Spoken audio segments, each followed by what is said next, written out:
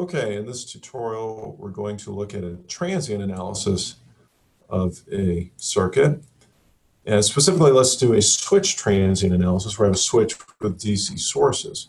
Um, so what we're going to do is we're going to go, you know, we just keep working in the same folder here, and I'm going to open up a new page. And let's go, go ahead and call this RLC uh, switched. Just, just as a random name. I'm going to open up the schematic. And the problem that we're going to solve is this switched RLC network that we solved um, uh, in the lecture notes on RLC network examples.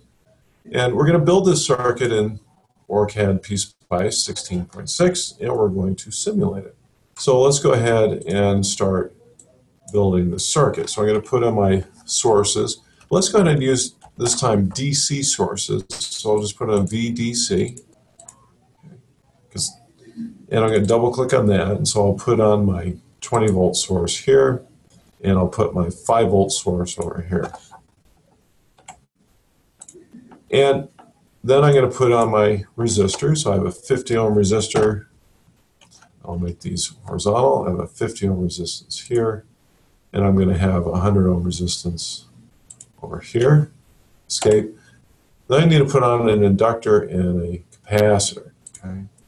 So for the inductor is symbol L. And so I'm going to put on uh, an inductor. Um, and then I'm also going to put on a capacitor. As you can guess, the part name for capacitor is C, and I'll choose the discrete C is fine. I'm going to get a center it between these two resistors as so. Of course, I can't forget my ground, so I'll put in a ground. There we go. Okay, well, let's go ahead and zoom in here so I get a better view. Okay. Now, before I wire, I want to put on some switches. So I have an SW underscore T, and I have a close and an open switch. So what I'm going to do is because I have a switch, which in effectively is going from A to B at time t is equal to 0, I'm going to simulate that with two switches. One that is opened for t less than 0, and it is going to close, and that would be representative of what's going on at terminal B. And the other one is going to be um, uh, closed for t less than 0 and it's going to open at t is equal to 0. So I'm going to choose SWT open slash eval and that switch is going to be closed as I said for t less than 0 and it will open at t equals to 0. So I'll put that there. And then the other one I'm going to choose is S switch close which is going to be open for t less than 0 and it will close t is equal to 0. Okay. All right. So let's go ahead and wire this up. Again, I click on each terminal of the two devices I want to connect, and I got square, square, square on R14's terminal, square on the volt source terminal, we're good. Square to bend, I'll connect this to ground. Again, when it highlights in that red circle, I know I can connect. Same thing here highlight the red circle, connect, connect my capacitor to ground, connect my resistor to terminal 1 of the switch, connect the open switch to the closed switch, and the capacitor I'm going to put in between those two switches. And I'll continue to connect the rest of my network. Okay, now I need to start assigning values. And uh, for values, again, I'll click on the R for the resistor, and this is going to a 50 ohm resistance. This is a 100 ohm resistance. Now the inductance is 10 millihenries. The default value is 10 microhenries, 10 UH. I'm going to put a 10 M, little m for millihenries.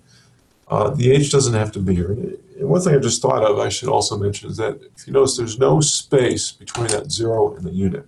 In fact, if there is, I believe it'll cast an error in our CAD PSpice. So I'm going to leave no space here. So it's 10 M H, and the H here is optional.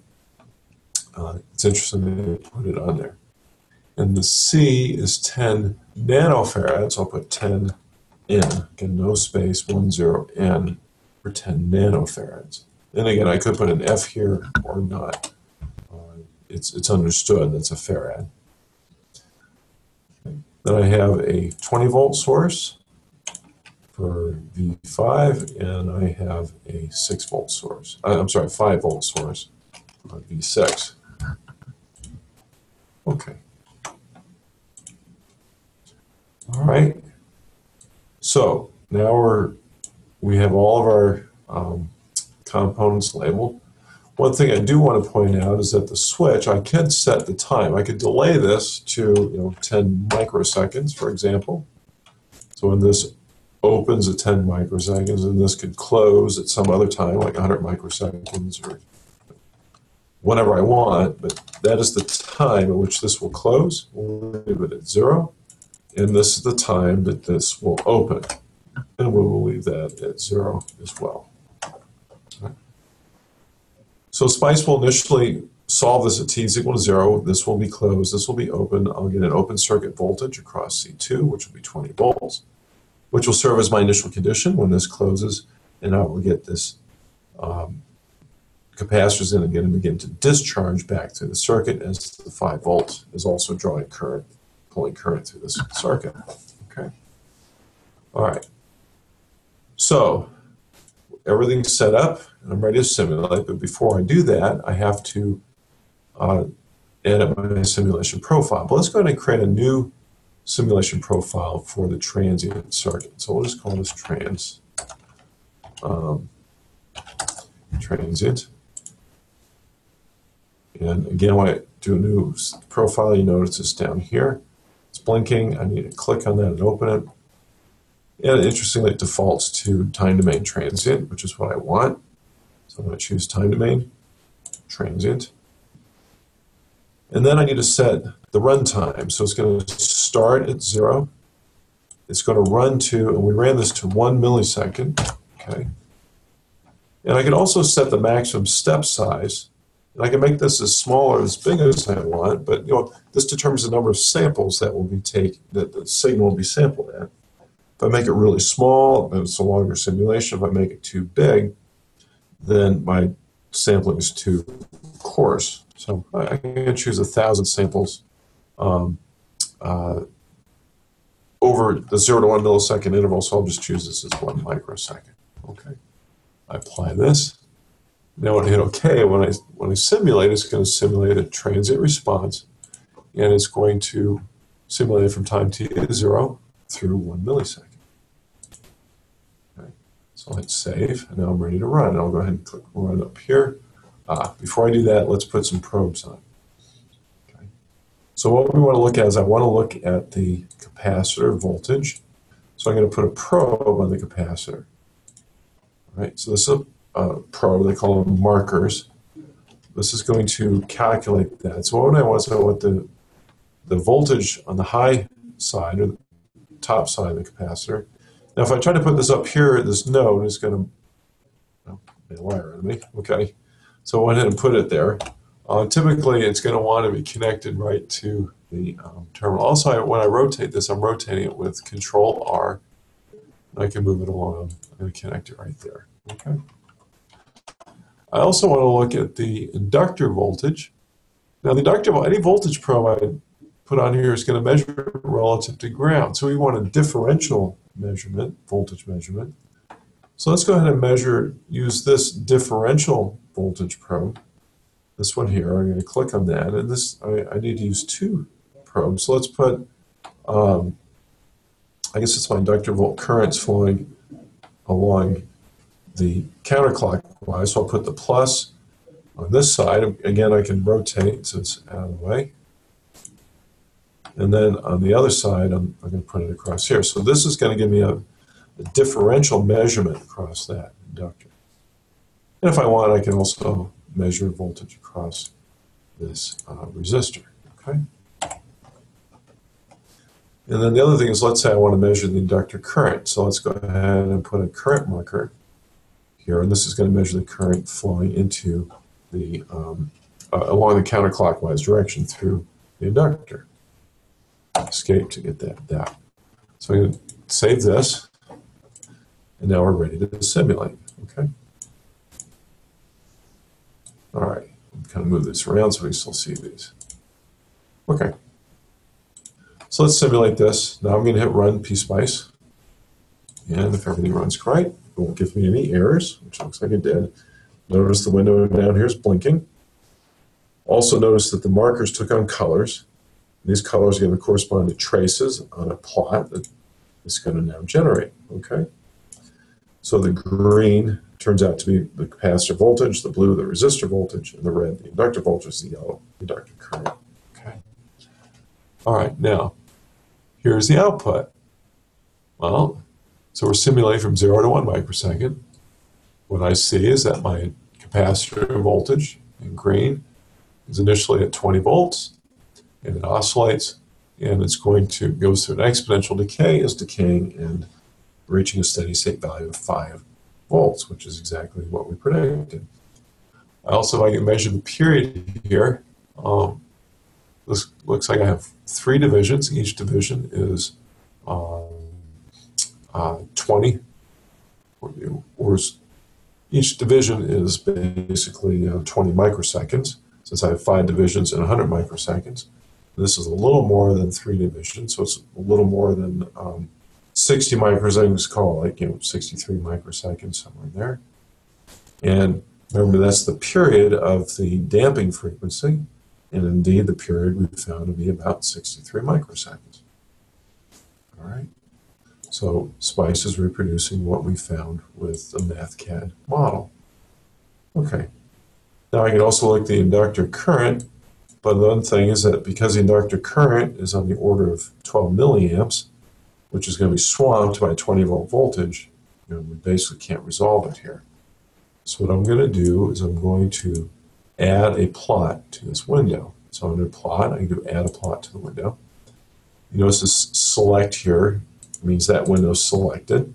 I've selected the bottom one, selected the top one. And in this window, I'm going to add a trace. Add trace. I want to add IL2.